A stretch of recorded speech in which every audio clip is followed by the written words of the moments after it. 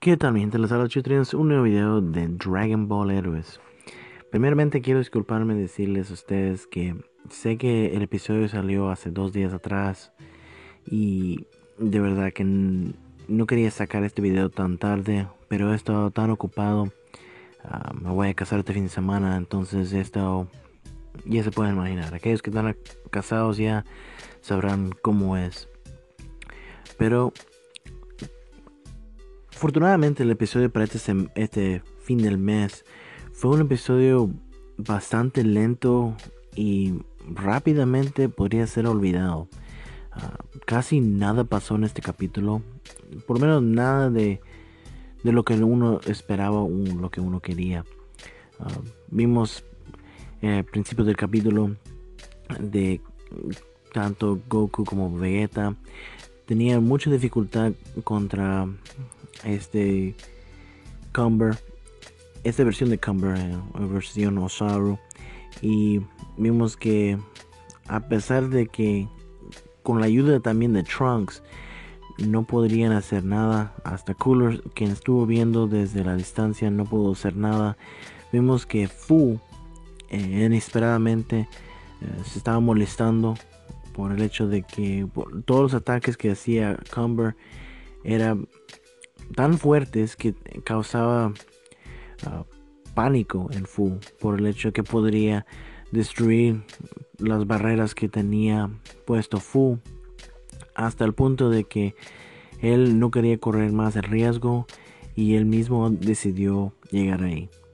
Ah, el, que Fu había, había llegado perdón, a la escena y él solo pudo detener a Cumber de verdad que creo que fue lo mejor del episodio. Y para mí me sorprende porque obviamente este es solamente uh, un anime promocional. Y quizás muchas personas ni tengan interés en verlo. Pero el hecho de que esta persona Kung Fu, que solamente quiere disfrutar de las peleas, tuvo que intervenir en esto, demuestra de que, claro, nada se tiene que tomar en serio, pero a veces teniendo una cierta habilidad puede haber causado la diferencia.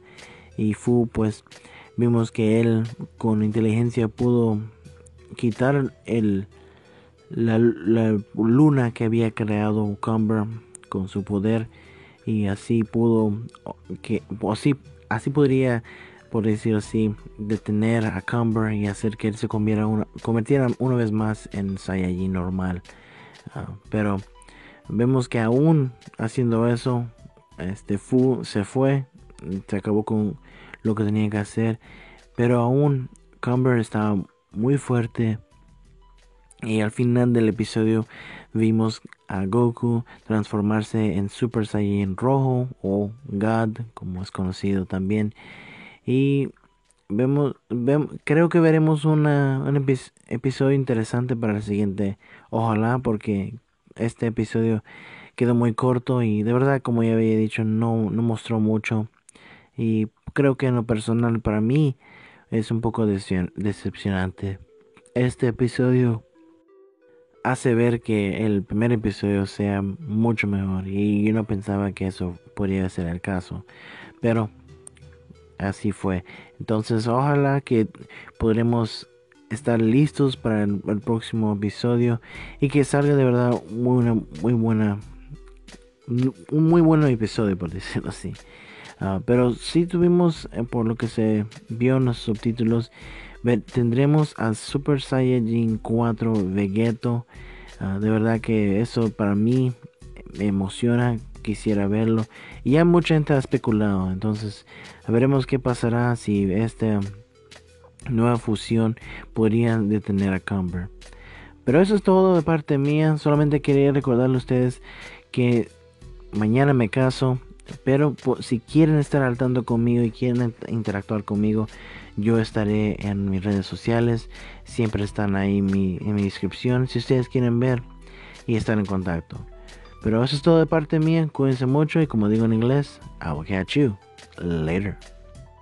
I'm a buff baby, but I dance like a man. Like a man. She a nice lady and she shaking her yams. Uh, spent the whole summer trapping out the sedan. the sedan. Marching with the bands, cause I think that I can.